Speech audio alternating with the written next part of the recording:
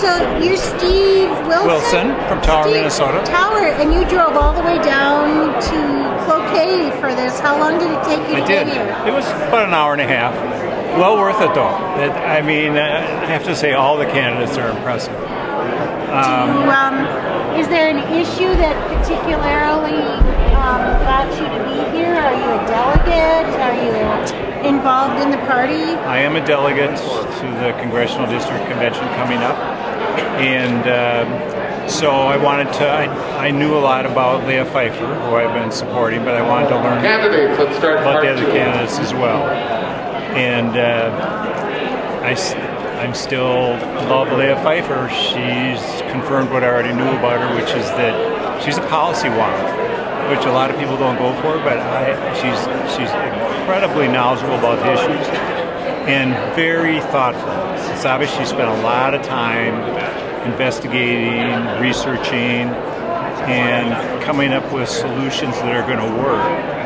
Uh, there's not a lot of rhetoric that comes out of her. It's, it's actually solid information, solid plans, and I've been waiting for a Democrat. I've lived in the 8th Congressional District for since I was 21, and I'm 67 years old now.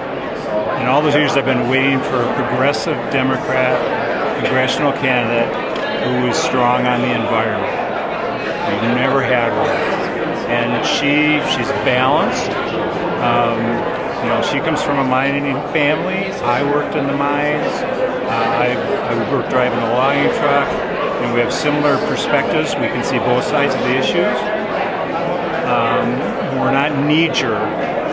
We're just in the direction that a lot of our other uh, representatives have been. She's very thoughtful on that issue, which I appreciate. Well, thank you. Byron, um, what got you to come here? Where are you from? I'm living in Moose Lake, and I came here tonight because I'm familiar with some of the candidates, and some of the candidates I wasn't familiar with, and I wanted to hear in their own words where they stood on the issues. And what um, have you heard that most impressed you or, or struck a chord with you? Um, you know, I'd heard Leah Phifer before. I've been real impressed with her with the detail of knowledge that they know. Joe uh, Radinovich, same thing. Um, you know, a lot of them, I think they're pretty similar on all the issues so far, but I, I'm just impressed, especially with those two, with the detail of knowledge that they uh, brought with them. Uh, partly because of their backgrounds. You know, they were held positions where um, they, they worked with a lot of these issu- issues, or or at least in a position to get real knowledgeable and informed. Thanks. Um, would you like to talk about it? Okay. Thanks Okay. so much. Looking forward to part two. Custer. Custer, thank you. My name is John Fisher Merritt. Well, it's good to see you. I've seen you over the years at the co-op. I know The you're second half of our forum will I am a start farmer, in yeah. one minute. I'm a semi-retired farmer. And My son is now a main farmer. So, what? Um, how long did you travel to get here today? About 20 minutes. Yeah, Uh, and anything strike you as really interesting about this tonight? Do you know the candidates, or do you have a favorite, or is there an issue that got you most? I do have a favorite.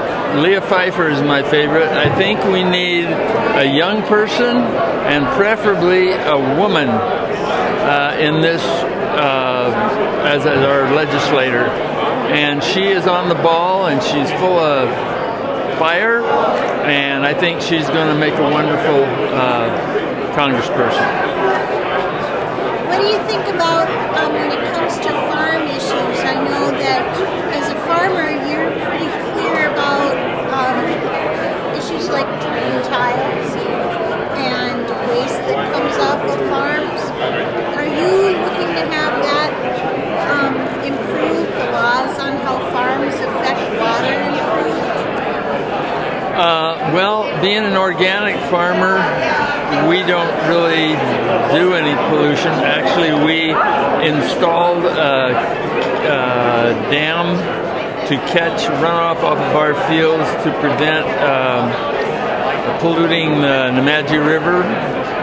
And uh, so, you know, we're we're completely happy with the way the, the orga- our organic system is working.